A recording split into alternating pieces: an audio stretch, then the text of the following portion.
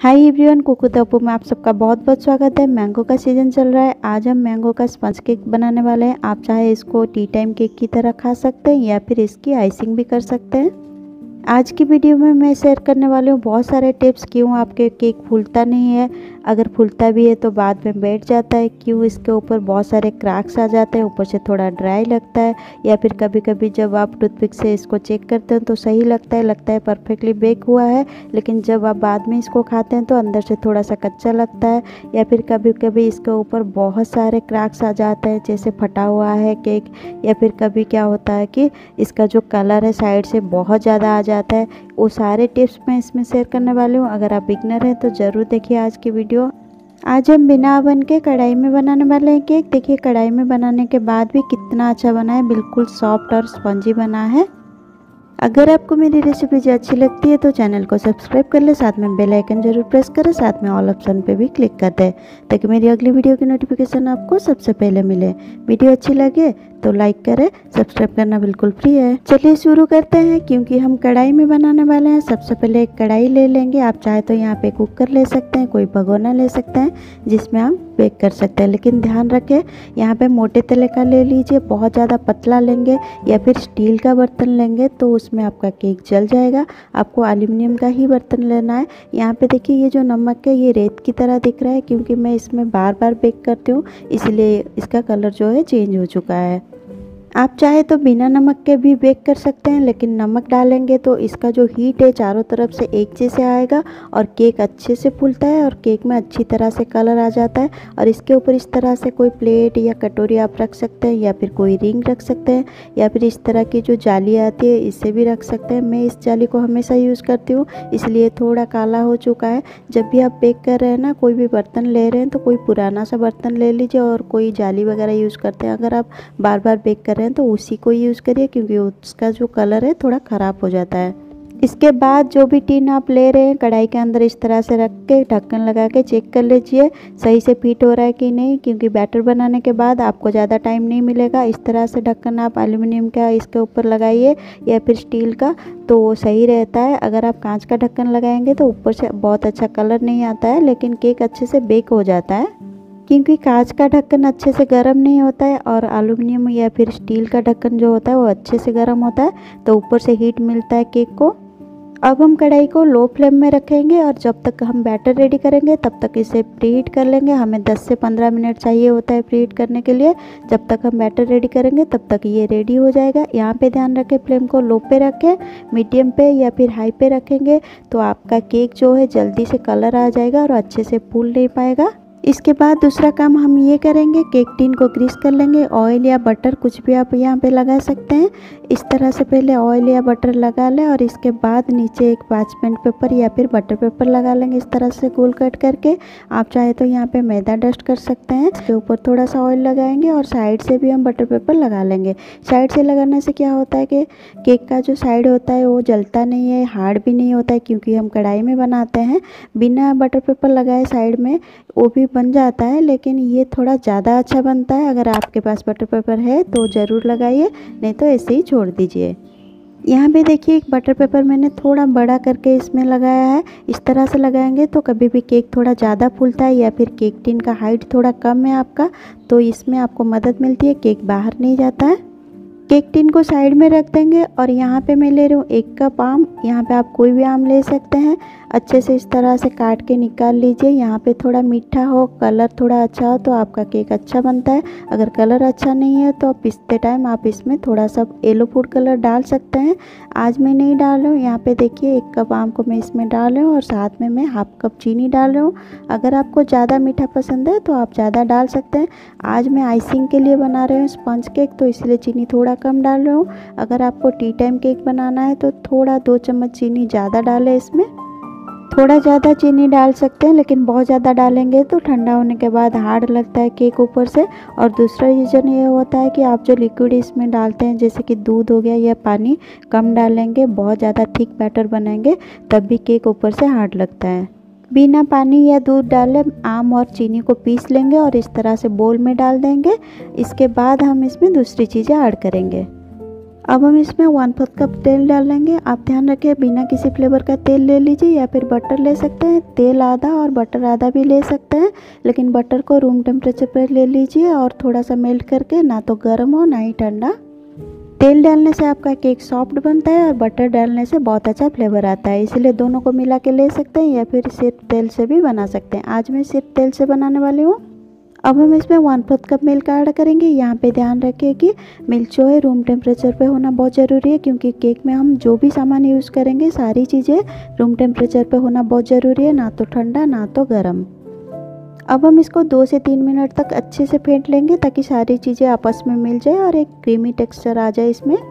अब हम दूसरा बोल ले लेंगे, इसके ऊपर एक चलनी रखेंगे, क्योंकि हमें मैदा को छान के लेना है। मैदा को छान के लेना बहुत ज़रूरी है, इससे केक बहुत अच्छे से फूलता है।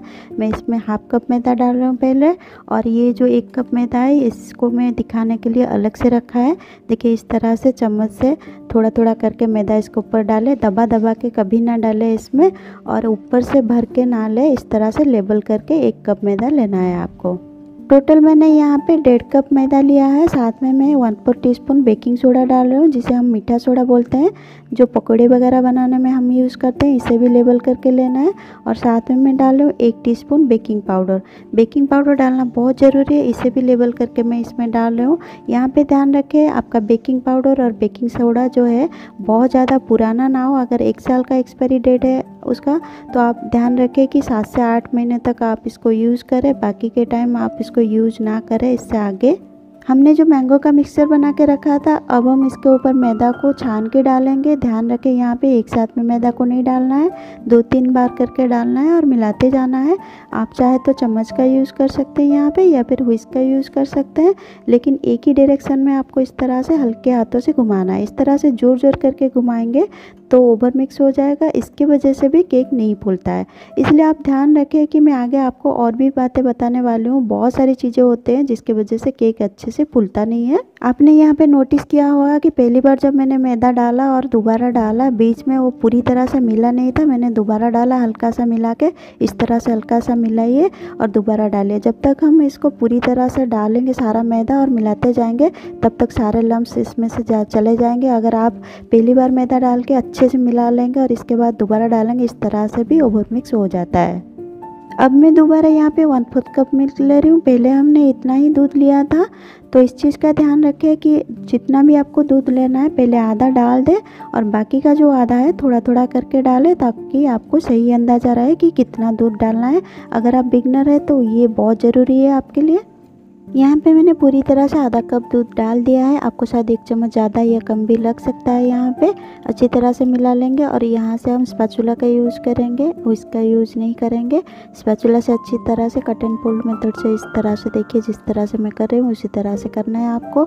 मिला लेंगे। जैसे ये अच्छी तरह से मिल जाए, हम इसमें विनेगर डालेंगे एक टी एक टी विनेगर आप लास्ट में ही डालें हमेशा और ये डालना बहुत ज़रूरी है। क्योंकि हम इसमें बेकिंग सोडा का यूज़ करते हैं। बेकिंग सोडा को एक्टिवेट करने के लिए हमें विनेगर या फिर नींबू का रस डालना ही है। विनेगर को हमेशा लास्ट में ही डालें और 15 से 20 सेकंड के अंदर इसको अच्छे से मिला लीजिए और केक टिन के अंदर डाल दीजिए। ज़्यादा देर तक मिलाएँगे तो अच्छे से फूलेगा नहीं आपका केक। ऊपर से थोड़ा सा स्मूथ कर लेंगे और इसको दो तीन बार टैप करेंगे ताकि जो एयर बबल्स इसके अंदर है वो निकल जाए। नहीं तो आपने देखा होगा केक के ऊपर से कभी कभी बड़ा बड़ा क्रैक्स होता है, जैसे फट चुका है केक, इस तरह से दिखता है, इसके वजह से होता है। ये बहुत ज़रूरी है और आप यहाँ पर एक चीज़ का ध्यान रखें, अगर आप इसमें जो दूध ऐड करें, वो थोड़ा कम हो जाए बैटर ज़्यादा थिक हो तो इसके वजह से भी ऊपर से क्रैक्स आते हैं, लेकिन वो छोटे छोटे क्रैक्स आते हैं और ऊपर से ड्राई लगता है।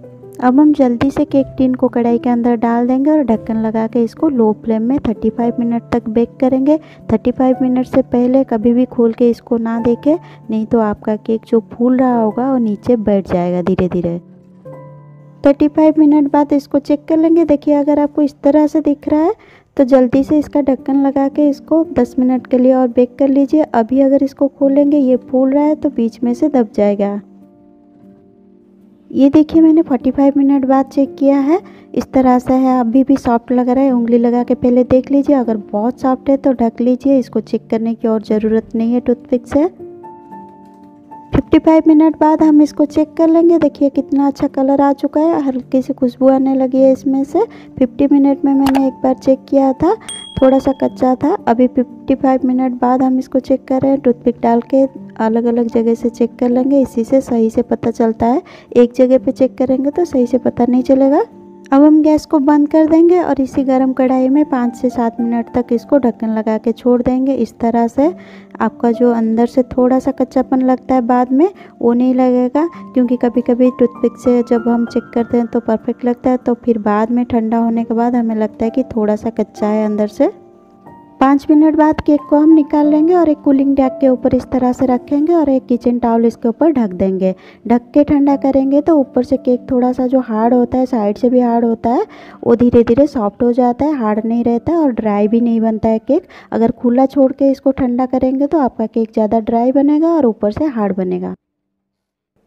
केक थोड़ा सा ठंडा हो चुका है, अब हम इसको डीमोल्ड कर लेंगे। एक प्लेट इसके ऊपर रखेंगे और इसको पलट देंगे। दो तीन बार टैप करेंगे केक टिन हमारा निकल जाएगा आसानी से, क्योंकि हमने इसमें बटर पेपर लगाया था। अगर आप मैदा डस्ट करेंगे, तब भी अच्छे से निकल जाता है। और कितना स्पंजी और कितना जालीदार बना है, देखिए, और कितना अच्छा कलर आया है इसमें। बिल्कुल भी जला नहीं है और साइड से कितना सॉफ्ट भी है। अगर आप इसको टी टाइम केक बनाना चाहते हैं तो ऊपर से थोड़ा सा ड्राई फ्रूट्स टूटी फ्रूटी या फिर चेरी डाल सकते हैं बेकिंग के टाइम पे। आज की रेसिपी आपको कैसा लगा? कमेंट सेक्शन में ज़रूर लिखें। अगर आप चैनल पर पहली बार आए हैं तो चैनल को सब्सक्राइब कर लें। साथ में बेल आइकन ज़रूर प्रेस करें। वीडियो अच्छी लगे तो लाइक और शेयर कर दें। मिलते हैं और एक नई रेसिपी के साथ। तब तक खुश रहिए हेल्दी रहिए और सेफ़ रहिए।